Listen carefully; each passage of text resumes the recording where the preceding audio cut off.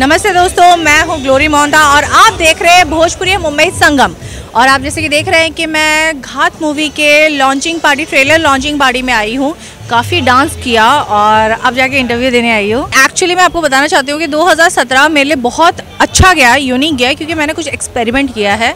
मैंने काफ़ी फ़िल्मों में एज अ लीड परफॉर्मेंस किया है। भोजपुरी नहीं अपार्ट फ्रॉम भोजपुरी और भोजपुरी में भी किया है सेकेंड लीड किया है जो कि इस साल आपके सामने आ जाएँगे। मैंने मराठी किया है गड़बड़ झाली करके।